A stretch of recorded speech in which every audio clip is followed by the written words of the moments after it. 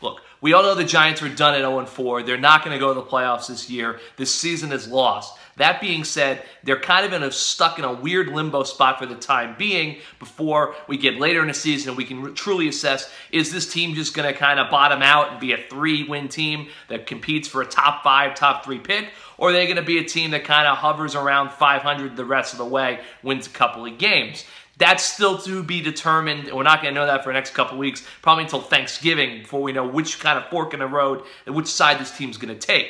In the time being, though, the Giants have to start stressing getting the young players on their roster who they know are going to be part of their future in 2018 and beyond. They got to start getting those guys playing time. And it should start this week against the Chargers at home with running back Wayne Gallman. Strong rookie debut in the loss of the Bucs on Sunday. He's got to be the starting running back going forward. I know 42 yards, 11 carries, 3.8 yards per carry. That's not terribly impressive, but look, this Giants run game is one of the worst in the NFL.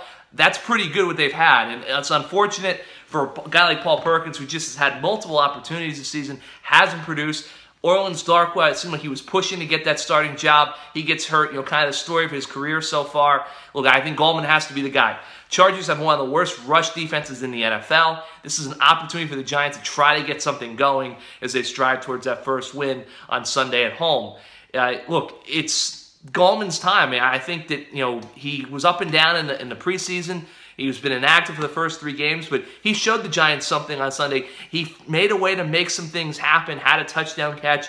It's time for the Giants to move on from Paul Perkins, who, in hindsight, they probably should not have been so quick to declare as the starter back in May when Ben McAdoo infamously said he was going to be the starter on Mike Francesa's radio program following the NFL draft. It's time to go to Wayne Gallman as a starting running back. It was clear from the Bucs game he gives the Giants the best chance to have some sort of run game. It's time to go with Gallman, and going forward, it's time to look at other young players and get them on the field. Giants aren't going anywhere. They need to start looking towards the future, and they can build and get something out of this season, salvage it by playing their young players. It should start Sunday with Wayne Gallman.